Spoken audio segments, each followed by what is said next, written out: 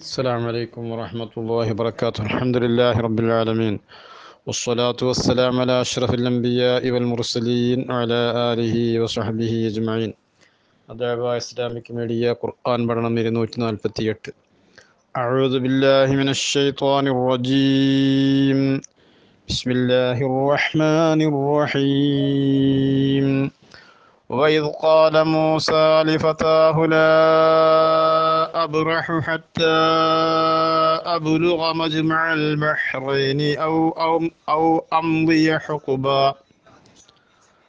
فلما بلغا مجمع بينهما نسيا حوتهما فاتخذ سبيله في البحر سربا.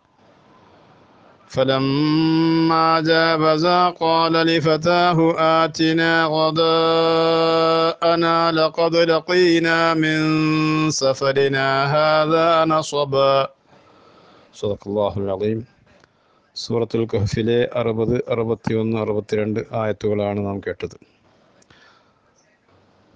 ബഹുമാനപ്പെട്ട മൂസാ നബി അലി സ്വലാത്തു വസ്സലാമിൻ്റെയും ഹിദർ നബി അലി സ്വലാത്തു വസ്സലാമിൻ്റെയും ചരിത്രം അള്ളാഹു സുബാനഹുവത്തായാല വിവരിക്കുകയാണ് മഹാന്മാരായ അസ്ഹാബുൽ കഹഫിൻ്റെ ചരിത്രത്തിന് ശേഷമായിട്ട്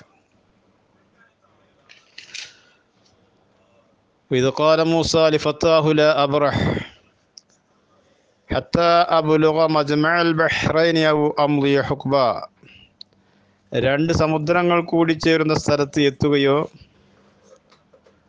ദീർഘകാലം സഞ്ചരിക്കുകയോ ചെയ്യുന്നതുവരെ ഞാൻ ചെയ്ത ഞാൻ യാത്ര ചെയ്തുകൊണ്ടിരിക്കുമെന്ന് മൂസാ നബി അലി ഇസ്ലാം തൻ്റെ യുവാവിനോട് പറഞ്ഞ സന്ദർഭം നബിയെ അങ്ങ് ഓർക്കുക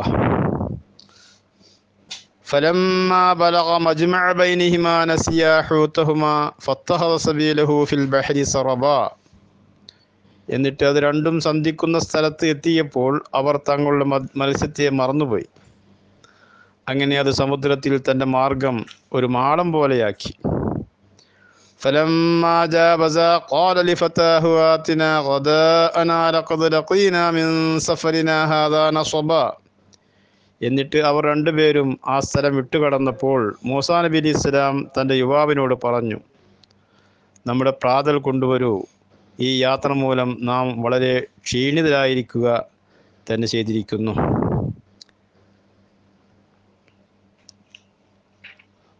മൂസാ നബി ഇസ്ലാത്തു വസ്സലാമിന്റെ അടുത്തേക്ക്.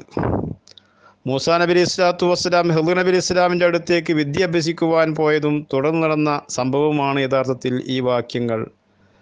ഈ വാക്യങ്ങളിലൂടെ അള്ളാഹു സുബഹാനഹുവത്താര നമുക്ക് അറിയിച്ചു തരുന്നത്.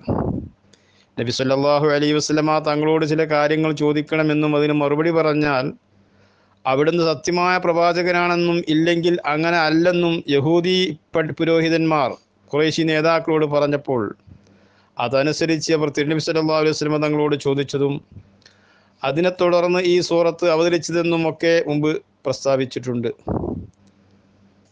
എന്നാൽ ഒരാൾ പ്രവാചകനായത് കൊണ്ട് എല്ലാ കാര്യങ്ങളും അറിഞ്ഞുകൊള്ളണമെന്നില്ലെന്നും ഏതെങ്കിലും കാര്യങ്ങൾ അറിയാതിരിക്കുന്നത് അദ്ദേഹത്തിന്റെ പ്രവാചകത്വത്തിന് ഹാനി വരുത്തുകയില്ലെന്നും യഹൂദികളെയും മറ്റും ഉണർത്തുകയാണ് ഗുഹാവാസികളെക്കുറിച്ച് വിവരിച്ച ശേഷം മൂസാ നബി ഇസ്ലാത്തു വസ്സലാമിന്റെയും ഖിദർ നബി ഇസ്ലാത്തു വസ്സലാമിന്റെയും ചരിത്രം വിവരിച്ചതിൽ നിന്ന് നാം മനസ്സിലാക്കേണ്ടത്. ഇസ്രായേലിൽ നിയുക്തരായ മറ്റു പല ധാരാളം പ്രവാചകന്മാരുണ്ട്. അതിൽ പ്രമുഖനാണ് മഹാനായ മൂസാ നബി ഇസ്ലാത്തു വസ്സലാം. എന്നിട്ടും അദ്ദേഹത്തിന്റെ പല കാര്യങ്ങളും അജ്ഞാതമാകുന്നു. അത് പഠിക്കുവാനായി മറ്റൊരാളെ സമീപിക്കുകയും ചെയ്യുന്നു.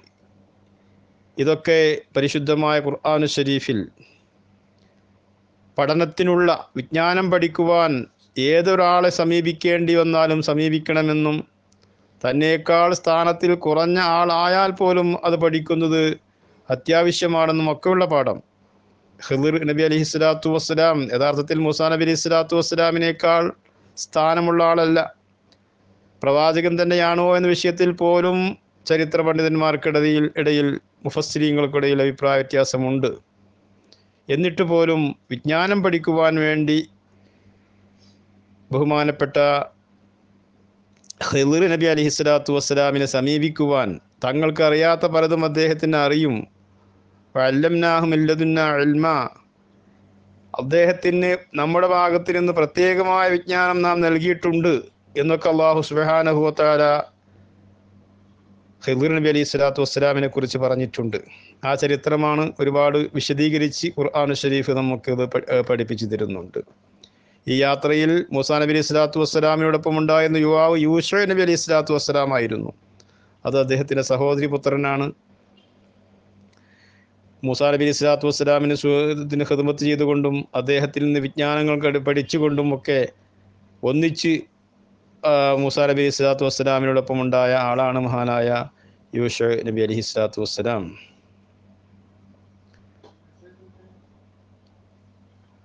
അങ്ങനെ ഈ വിഷയത്തെക്കുറിച്ച് അള്ളാഹു സുബാനഹുബത്താല പ്രതിപാദിച്ച ഈ മജ്മഉൽ ബഹ്റൈൻ അഥവാ രണ്ട് സമുദ്രങ്ങൾ കൂടി ചേരുന്ന സ്ഥലം ഏതാണ് എന്ന വിഷയത്തിൽ അഭിപ്രായ വ്യത്യാസങ്ങൾ മുഫസ്സിരിങ്ങളായ ആളുകൾക്കിടയിലുണ്ട് അത് ബഹുമാനപ്പെട്ട ഇബിൻ ഗസീർ റഹ്മുല്ല അദ്ദേഹത്തിന്റെ തഫ്സീരിൽ പറയുന്നു. അതുകൊണ്ട് ഉദ്ദേശിക്കുന്നത് ബഹുമാനപ്പെട്ട തഫ്സീർ തബരിയിൽ രണ്ട് സമുദ്രങ്ങൾ അതുകൊണ്ട് ഉദ്ദേശിക്കുന്നത് റോമൻ പേർഷ്യൻ കടലുകളാണെന്ന് ഇതിൽ അഭിപ്രായപ്പെടുന്നു എന്ന് തഫ്സീർ തബരിയിൽ നമുക്ക് കാണാൻ കഴിയും. ചെങ്കടലിന്റെ അടുത്തുള്ള ശാഖകളായ അഖബ ഉൾക്കടലും സൂയസ് ഉൾക്കടലും അവ കൂടിച്ചിരുന്ന ഐലത്ത് എന്ന സ്ഥലവുമാണ് എന്ന അഭിപ്രായവും വേറെ ചില മുഫസ്സിലുകൾ രേഖപ്പെടുത്തിയിട്ടുണ്ട്. ഇൻഷാ അള്ളാ അതിന്റെ വിശദീകരണങ്ങൾ അടുത്ത ദിവസങ്ങൾ നമുക്ക് പറയണം അള്ളാഹു തൗഫീഖ് നൽകട്ടെ. അസ്സാം വലൈക്കും വാഹമത്തല്ലാഹി വർക്കാത്തു